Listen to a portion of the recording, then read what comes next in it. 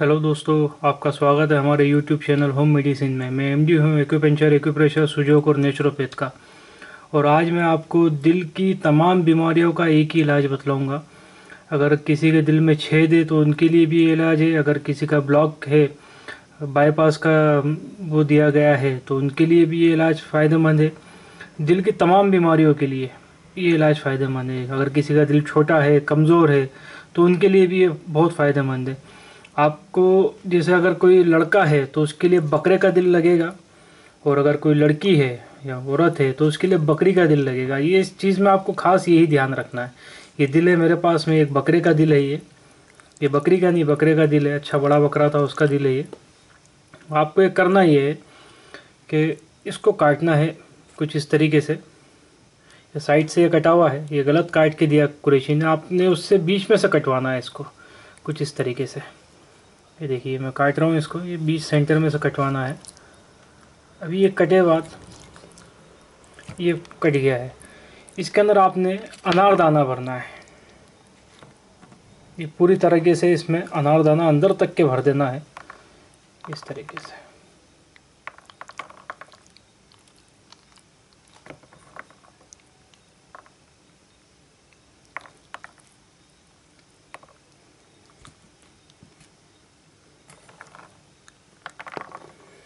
और ये जब अच्छा आप इसको भर दें, अनारदाना, ये साइड में भी मैं भर देता हूँ, जो कटा हुआ है।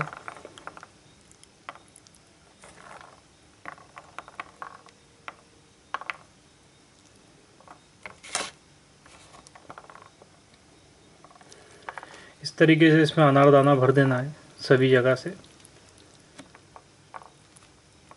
उसके बाद आपने करना ये है, या तो आप इसको सुई धागे से सी दीजिए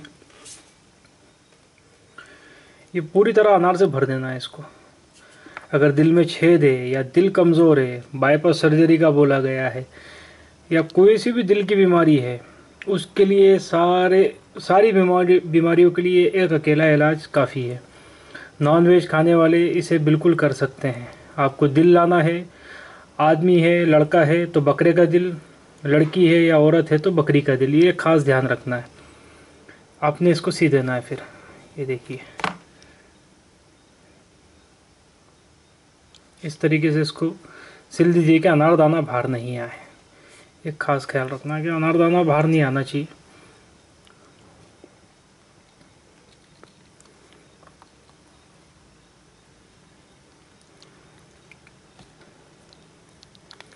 उधर की साइड तो भर दिया था, इधर और भरूँगा अभी मैं, क्योंकि काफ़ी जगह है इसमें।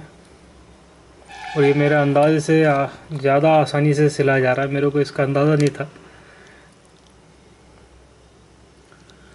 जैसे मैं एक टाका इधर भी लगा देता हूँ अभी।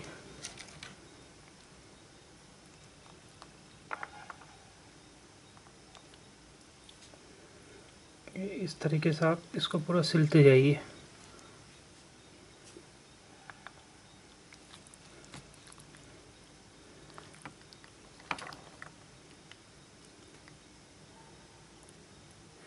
अनारदाना अच्छा लाल लेना आपको, जैसा मैं लेकर के आया हूँ। इसी तरीके से अच्छा लाल अनारदाना आपने लेना है।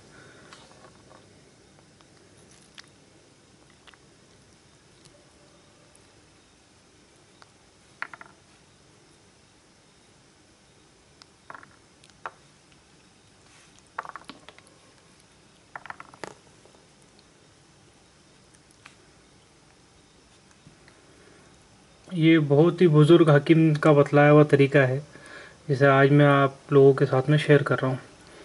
इसको फिर इस तरीके से पैक कर दीजिए पूरा।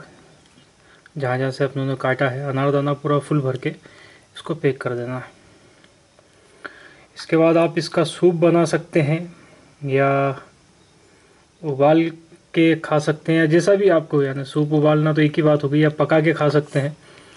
अच्छी तरह से इसको पकाइए।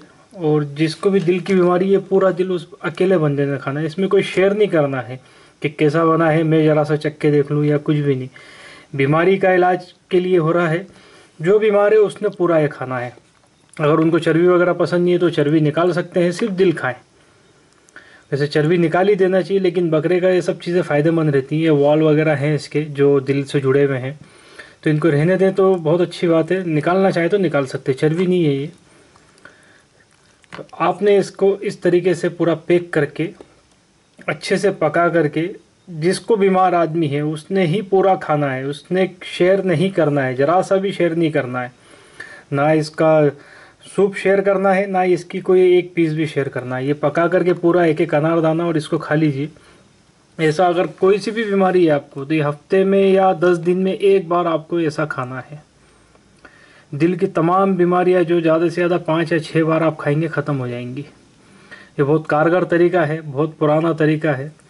इसे आप दिल के बीमार मरीज़ इसे बिल्कुल आजमा सकते हैं। अगर अटैक, हार्ट अटैक हुआ है, दूसरा नहीं आना, उसके लिए भी इसको खा सकते हैं।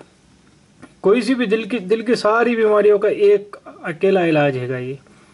अनारदाना और दिल। बस इतना ख्याल रखिए, औरत है तो बकरी का दिल, आदमी है तो बकरे का दिल। ये आपके बहुत काम की चीज़ मैंने आपको बतलाया हूँ। अगर आपको ये मेरी वीडियो पसंद आई है तो इस चैनल को सब्सक्राइब करिए, वीडियो को लाइक करिए और इसका लिंक दूसरों को भी शेयर करिए, ताकि ज़्यादा से ज़्यादा लोग इससे फ़ायदा उठा सकें। धन्यवाद।